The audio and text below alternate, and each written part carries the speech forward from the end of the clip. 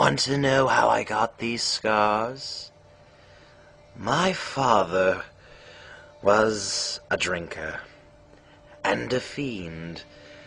And one night, he goes off crazier than usual.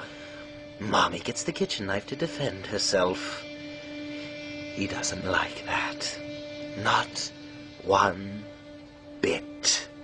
So, me watching, he takes the knife to her, laughing while he does it, turns to me and says, Why so serious?